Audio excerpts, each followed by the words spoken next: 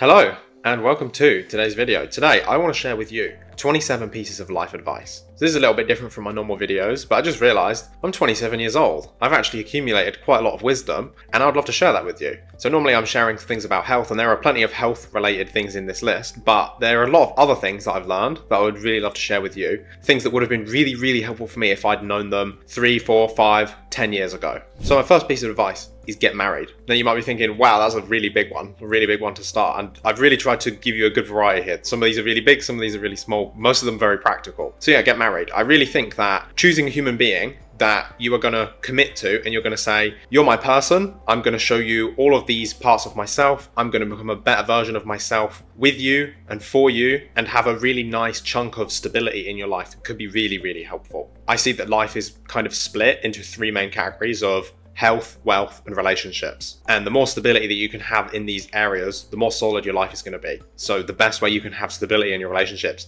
is pick a partner and commit to them. You develop so many different skills when you're in long term relationships communication, how to relate to other people, how to cohabit, and how to live with somebody. I will say though, it's really important that you choose the right person and you have to make sure that you're compatible. Compatible meaning you have similar life goals, you want to do similar things. Like, for example, my wife and I, we both love to travel, we both want to have kids, we both like talking about similar things, we think in a very similar way. So, I'm not saying just marry like the next random person that you see on the street. Pick the right person, but if you're in a committed relationship, really consider getting married. And I was one of those people that said, getting married is like, it's a piece of paper, I don't care, it doesn't mean anything, don't want to get the government involved. My life really changed when I got married. It isn't just a piece of paper, it really changes the energy, it really changes the dynamic. My second piece of life advice would be to get in shape. So, if you're able to get get in shape at least once in your life, especially if you do this in your early 20s, it's so much easier to stay in shape throughout your life. Unfortunately, I had chronic health problems and it wasn't really feasible for me. And maybe you're watching this, maybe you're a little bit older than that. Maybe the ship has already sailed, but still, get in shape anyway. Having more skeletal muscle mass and a lower body fat percentage is directly correlated with a whole bunch of different things, including cardiovascular disease, even neurodegenerative disorders like Alzheimer's and dementia. If you have more muscle mass, as a man, you're going to have have more testosterone and more muscle mass in general for men and women is one of the best ways you can improve your insulin sensitivity to protect you from things like diabetes. Number three on the list is to travel and especially to leave your hometown. So, so this kind of splits in two. First of all, I would encourage you to travel to as many different places in the world that you can. If you're from the Western world, definitely experience areas in Asia. Go to Korea, go to Thailand, go to Indonesia, go to India. It will completely change the way that you see the world because it is a completely different world. And I'd also really encourage you to leave your hometown. I find that home hometowns can be slightly restrictive. They make you almost stay stuck as a version of yourself that you've been. You have people that expect things from you, you have people that expect you to be the way you've always been, and it can really stop you evolving as a person. I really think one of the best things I ever did was leave my home country because it's really allowed me to push my comfort zone. You know, I do a lot of things that aren't really very normal, and I think I would have really struggled to do this if I was trying to do it in the environment where I'd been raised. Also, I think it's kind of funny that some people, and if this is you, then that's fine, but I just think it's kind of funny that we are born in a certain location and then we we have friends from going to school or something and we stay friends with them for the rest of our lives whether we're actually really that compatible with them or not just because we were born in the same kind of place. I just think that's quite funny considering there's like nearly 8 billion people on this earth and we stay with the same maybe 5 10 or 15 people that we met just because we were geographically close to each other when we were born. My fourth tip is to buy an aquapick so this is a piece of dental care equipment. I really think that the aquapick is superior to brushing your teeth in almost every single way. When we're brushing our teeth one of the most important things is to remove debris from in between the teeth and the gum. This is what causes gingivitis. This is what causes poor dental health. This can cause a lot of bad breath, can cause a lot of different types of problems. An aquapick is basically like flossing using water. So we're able to really deeply clean out these spaces in between our teeth and it's reusable it's just water it is amazing ever since i've used an aquapick i have i've never looked back i really think it's one of the coolest little gadgets that i've ever bought fifth point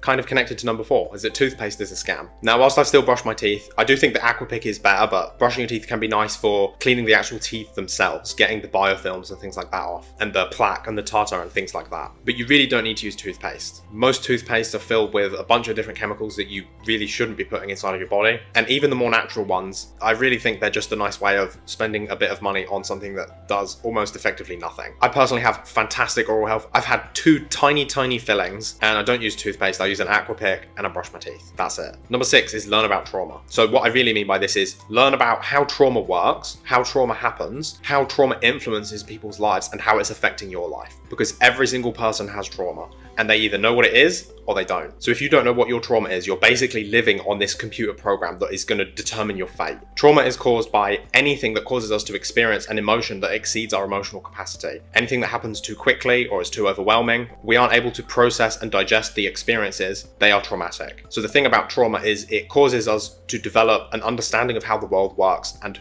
who we are and how we fit in it. And if, as a consequence of this trauma, we then develop beliefs that don't serve us, you will show up differently in your life in a very negative way. Trauma is connected to all different types of things from physical health problems, anxiety, depression, not achieving the life of your dreams, not being able to expand your comfort zone, not being able to ask for that raise, people pleasing, codependency, a whole bunch of different things. So look into it, learn about it, figure out how it works, and figure out how it's affecting you because I guarantee you it is. You just need to figure out how. Number seven is start your own business. I really think starting my own business is one of the best things I ever did. I've learned so much about money, I've learned so much about how the world works. It's enabled me to become a person that's able to help a lot of people. It's given me a lot of purpose, a lot of reason. It's been a really nice way for me to make money and support myself and now my family as well. I think some people dream of being an entrepreneur one day or running their own business, and it is a magical experience, but it's hard. It's definitely not for everyone. There's a lot of uncertainty involved. There's a lot of responsibility that you have to take. You know, you know, if something goes wrong, it's basically your responsibility to take care of it. It's not just like a nine to five job where you can show up, do your best, whether it's good enough or not, it doesn't really matter. You still get paid at the end of the day. When you run your own business, everything that happens is your responsibility, which is hard, but it's really great if you want to develop, become a more well rounded person, and become a better human being in general. Number eight is to value skills over certificates. This is kind of what people are talking about when they say people like Bill Gates and Steve Jobs didn't really have any qualifications, but look how rich they are. The reason that they have the money that they do is they develop skill sets that are very valuable that allowed them to charge a lot of money for solving certain problems. So if you're able to develop skills that make you more useful to other people, people will be more willing to pay you money so you can help them solve their problems. The analogy I like to use here is if you're going to climb up Mount Everest, do you want someone that's done a lot of research about it or do you want someone that's done it a thousand times? You want the person that's already climbed up the mountain a thousand times because he knows exactly how it works. He knows about the temperature. He knows about the oxygen levels. He knows all the shortcuts. This is what's really valuable and this is what people really want. So don't get too caught up on the certificates, the qualifications. And if you're doing them because you love it and and you want to, then great. But I see a lot of people spend their whole life getting education and qualifications and certificates and then not really using them to the fullest potential because they don't have the skill sets they actually need. I can remember I studied business in GCSE at, at high school, and it's probably the most useless qualification that I ever got because there's not a single thing I learned in that that actually practically applied to running a business in the real world. So forget the certificates, they're really not that valuable. Develop your skill sets instead. Number nine, and this is a prediction gut health will change the world. I've done enough research by now, and I've worked with enough people to have seen the effects that people's gut health has on the other aspects of their body, including their mental health, their digestion, obviously, cardiovascular health, cognition. Almost every single aspect of health is impacted by what's going on in the gut. And I guarantee you, over the next 20 or 30 years, we're going to look at all the antibiotics that's been prescribed, the diets that we're eating, and we're going to be thinking, what the hell are we doing? So get ahead of the curve, learn about gut health, figure out how your digestive system works, learn about what the microbiome is, what microflora is, because I promise you, this is information that is going to be extremely valuable to you in your life. Number 10, learn polarized communication. Now, this is quite a funny one, and it might polarize the audience a little bit. So, the idea behind polarized communication is that men and women, masculine and feminine energy, are fundamentally different. It's not that one is better and that one is worse, they are just different. You can think about this like the difference between hot and cold. It's like, what's better, hot and cold? Well, it's contextual and it depends, and it's not that one is better and one's worse, they're just different. It's like, what's better, up or down? What's better, left or right? Doesn't make sense. Asking what one's better, it just is illogical because it doesn't make any sense. And the same is true with masculine and feminine energy. But the key here is to understand that masculine and feminine energy communicate in different ways. Masculine energy communicates more directly, and it communicates in directives and judgments. So this looks more like telling somebody what to do. This would also include the dynamic when, imagine you go to see the doctor. He's going to tell you everything that's going on with you. He's going to tell you his version of your situation as he sees it, and then you're going to buy into what he is saying. Feminine energy communicates in a completely different way. It uses language completely differently. The example that I use, and I see this all the time, is when, for example, in a relationship, when a wife goes to the husband or a girlfriend goes to the boyfriend and says, Do you even love me anymore? Leave me a little comment below if you've said this or if your partner has said this to you. So, this is a feminine energy communication, and what the feminine energy is actually trying to say is, I feel really unloved right now. It's not practically asking, Do you even love me anymore? The words aren't what's important, it's the energy behind them. It's about feeling the energy behind the statement. You see this also again in relationships when a couple are trying to decide what to eat and the man says, What do you want? And the woman says, I don't care, you choose. This is a really good example of, again, masculine energy making decisions and feminine energy wanting to be led. I absolutely guarantee you, if you have problems in any of your relationships, if you can learn to use polarized communication, you can fix these problems. If a woman tries to tell a man what to do in masculine energy, not only will he not do it, he will be repulsed by that woman. And if a man is trying to communicate to a woman using feminine energy, he will come off as very weak, with no backbone, and there'll be absolutely no attraction in that relationship either. It's a big rabbit hole to jump into, but I assure you it is more than worth it. Number 11, avoid synthetic clothes. So many of the clothes that are available in modern supermarkets and clothing stores actually made of synthetic materials. So you'd be thinking about things like nylon and polyester. These are basically plastics. And the thing is, the clothes that have the most of these compounds in are normally things like sportswear. The thing is, when you're wearing sportswear, you're getting hot and you're sweating, and this causes these plastic compounds in the clothing to leach into your body. This is especially harmful for women, especially in the bra region, and for men in the underwear region, because these plastics in clothing behave like estrogen in the body. So this can create a foundation for estrogen-based cancers in women, especially in the breasts, and in men this can affect their fertility levels, the health of their sperm, and the levels of testosterone. So your best option is to just opt for clothing that is natural, things like wool, cotton, and if you've got a little bit of elastic in the waistband, then then whatever, it's fine. You don't have to be perfect. Number 12, also kind of connected to clothing, is that clean smells neutral. All of these different fabric softeners and deodorants and sprays and cologne and all these things that we put on ourselves are all toxic artificial chemicals. When something is clean, it doesn't smell like anything. Cleanliness is not an odor it's the lack of an odor. I found that by removing many of these things from my life, including fabric softener, deodorant, toothpaste, as I mentioned earlier, I've become far more aware of how toxic these things actually are. If I step into an elevator and somebody's been spraying deodorant in there, I really don't like how it smells and how it makes me feel. And probably the worst part is if these kinds of chemicals were in food, it would be illegal. But these kinds of products are not regulated so strictly. Number 13, learn how money works. I heard a saying, something along the lines of, if you read three books on a subject, you know more than 99% of the population. So if you read just three books about money and how money works, you're going to be that much further ahead. Probably my favorite book when it comes to money was a book called Secrets of the Millionaire Mind. I found this really, really helpful. He also talks a little bit about trauma and how our trauma and the mindset of our parents and the environment we were brought up in impact how we relate to money and our ability to earn money he calls it our financial thermostat. So learn about how money works because rich people aren't better than poor people, poor people aren't worse or better than rich people. They're just different. But if you want to be somebody that has a lot of money, you need to understand how money works. And the only way you're going to figure that out is if you start learning. Number 14 is don't use toilet paper. Now, this might shock you and you might be thinking, what the hell am I supposed to do if I'm not going to use toilet paper? The thing is, if you travel to Europe, if you travel to Asia, you'll see that they use bidets everywhere. They've either got a little thing for you to clean yourself or they have a, like literally a hose for your bum. I always think it's funny when you think about these, maybe you could say third world countries, and how when I'm there, I feel so much cleaner than I do when I'm in, say, the United Kingdom, just because my bum's cleaner. So now I always use some form of water to clean my bum. I've got this really cool little thing, I'll put it on the screen. It's called a happy poo. It kind of works like an artificial bidet. Day and I will use toilet paper to, to dry my bum after I'm finished. But this is the thing that I hate the most about traveling, is when you when you don't have a clean bum and you just use toilet paper. It's like, that's not clean. It's really just not clean. Also, toilet paper is full of chemicals. It's really not that good to be putting against your skin. And I work with a lot of people with gut problems and toilet paper, not really good for your gut. Definitely not good for your anus. So do your bum a favor, stop wiping it with toilet paper and clean it with water instead. The rest of the world is doing it like that already. Number 15 is that symptoms are clues. So I had a chronic health problem. I had many different types of symptoms. And, and the thing that it really taught me is that every symptom is a clue. There's no such thing as a random headache or a random stomach ache or a random pain in your body. There's always a very specific reason. A lot of the time you'll go to the doctors and they'll say, oh, it's just allergies, or oh, it's just this, or oh, it's just that. The only person that this symptom is affecting is you. It's affecting your quality of life, it's affecting your ability to function. And if you just accept that it's going to be there for life, or there's nothing you can do about it, then that's the outcome that you're going to get. But the human body is designed to exist and to live symptom free.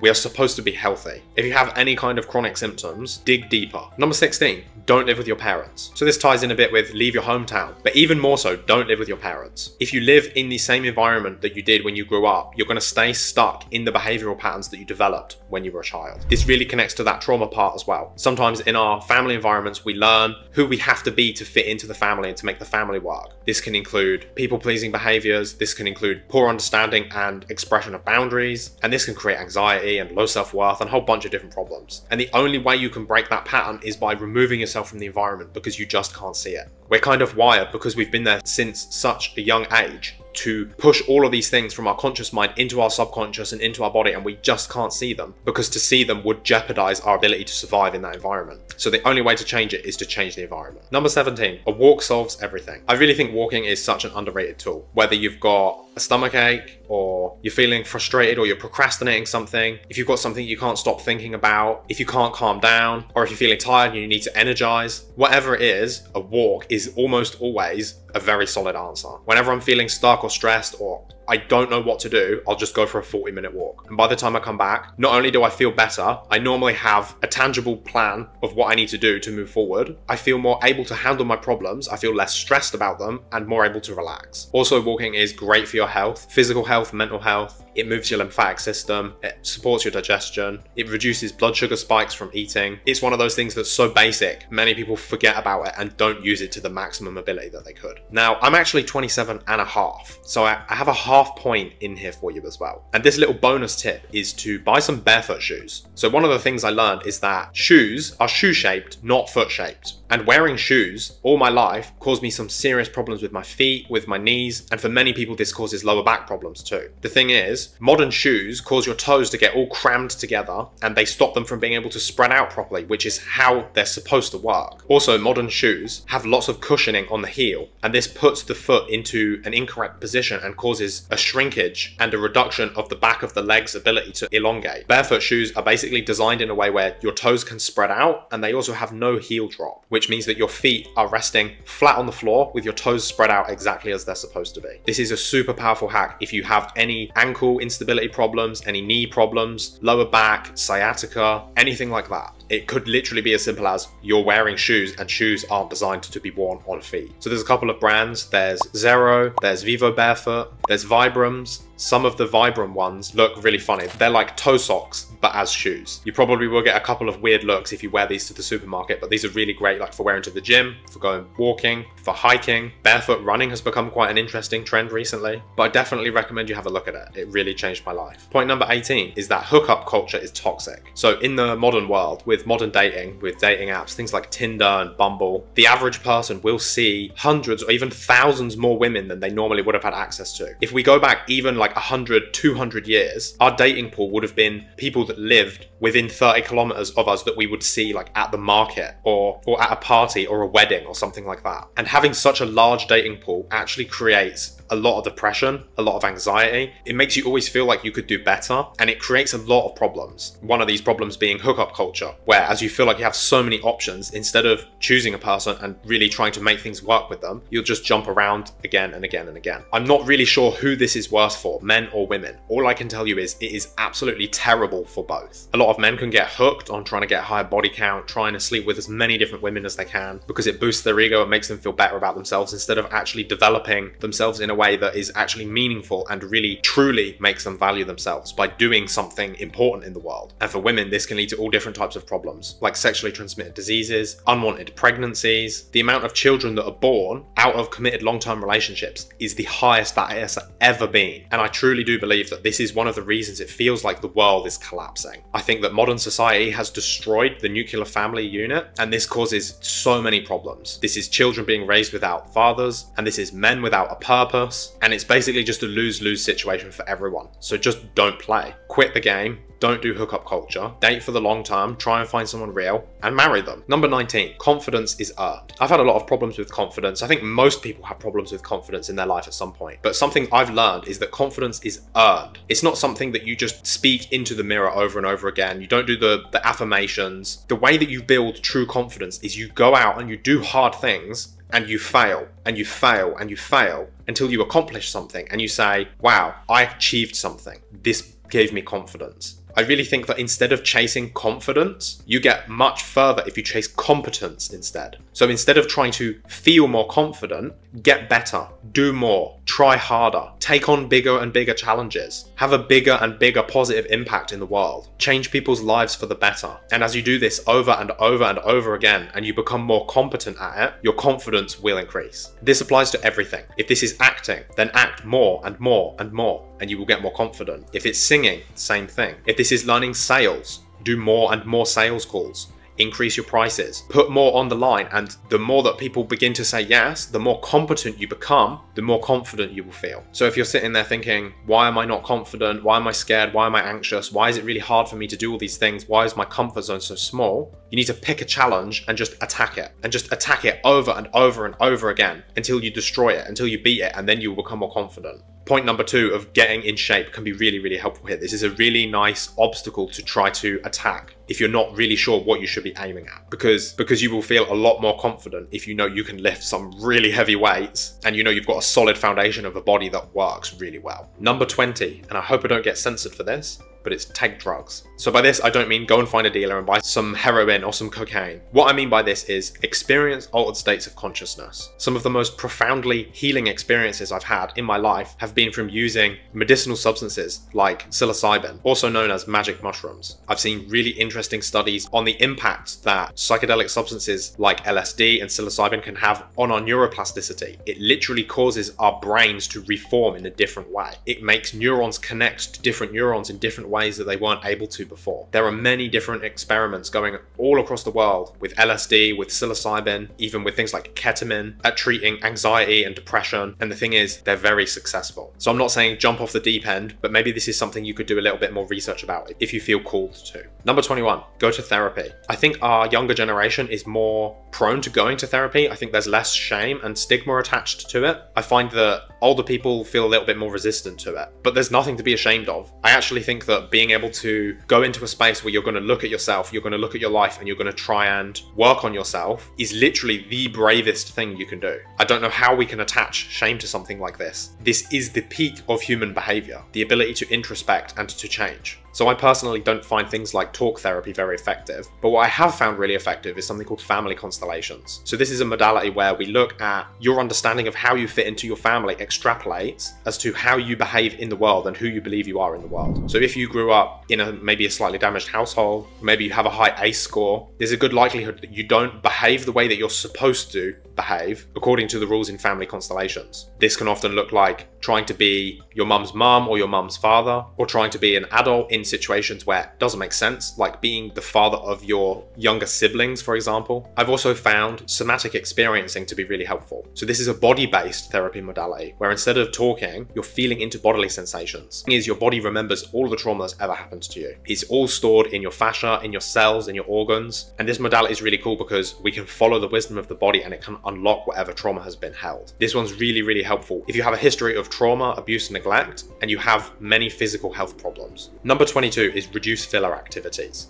So by this, I mean, if you were to look back on this activity in six months, would you remember it? This is things like binging Netflix shows that you don't even really like, just scrolling mindlessly on TikTok or Instagram or on social media feeds, browsing Reddit or other websites that really bring nothing to your life. I'm not saying never do them. I'm saying become more conscious of when you're doing them and become more aware of the fact that they add absolutely nothing to your life and just try to reduce or remove them as much as possible. Number 23, work harder. For a really long time, I thought I was working really, really hard. And in retrospect, I look back and realize just how much harder I could actually have been working. I think a lot of people feel behind in life or they feel like they, they aren't getting the grades that they want or they're not making the money that they want or their career isn't evolving how they want it to. And they think they're missing like some magic formula or some little key piece of information that's going to change everything. And maybe this is true, but underneath that, there is this foundation of work your ass off. Now, I'm not saying like burn yourself out and make yourself sick and live a life that you hate. But what I'm saying is you need to look at the way that you're living your life and see if it's actually aligned with you achieving the goals that you want to achieve. A big part of this for most people is getting stuck in busy work, where we spend a lot of time doing things that make us feel like we're being productive, but actually don't help us move closer towards our goals. So, for example, if you know you have a test you need to be studying for, and you say you're studying, but you're actually sitting there just procrastinating, not really doing anything, you end up wasting all of that time and you actually get nothing done. You'd be far better off taking 30 minutes to go for a walk, get yourself in the right space, and then sit down and do 40 minutes of actual work instead of saying that you studied for two hours and then you actually sat for two hours and did absolutely nothing. Another point here is if you are in a job that you hate, or maybe let's say a job that you don't like, maybe you're working a nine to five, maybe you're working in McDonald's, or you're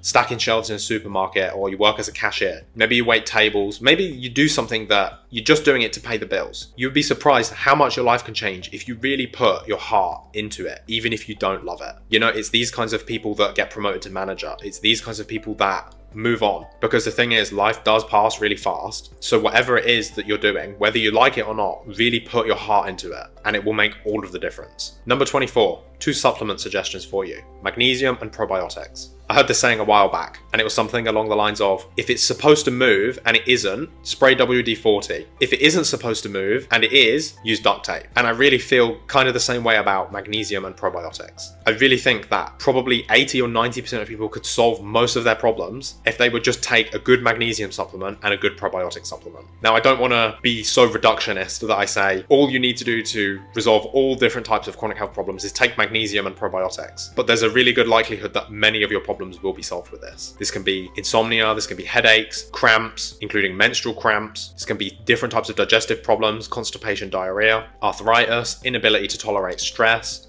poor recovery from workouts. Honestly, if you haven't tried magnesium supplement and a good probiotic yet, and these would be my suggestions, then you really should because they have a really high likelihood of helping. Number 25 is demand respect. So by this, I don't mean become an asshole and walk around full of arrogance, expecting everybody to talk to you in a certain way and behave in a certain way. What I mean is, if you have relationship dynamics that you don't like and they don't make you feel good, then cut them out. I know this can feel really hard, especially if these are friends you've had for a long time, or if they're family members, or they're people that you care about or that you love. But the thing is, by you staying in a relationship that you know makes you feel bad, you are enabling their behavior and you're telling them that it's okay for them to continue treating you this way. So yeah, this is true in one-off situations like in a restaurant or with strangers in public, but this is most important with your close friends and family. If you have people in your life that make you feel bad about yourself, that make you feel like less of a person, that make you feel like you're not important, then by allowing them to stay in your life, you are agreeing with them. So you need to either stand up for yourself and tell them, this is not acceptable. You cannot treat me this way. And if they don't respect that, cut them out. Number 26, there are no rules. So let me just preface by saying, don't go out and do illegal things. What I am saying here is, we often create almost like a prison of rules that we live by in our own heads. We tell ourselves we have to do things certain ways, or we have to behave in a certain way, or we have to do something a certain way. And it's actually completely untrue, and you can do whatever you want. You can brush your teeth in the shower if you like. You can leave all of your dishes and wash them up in the morning,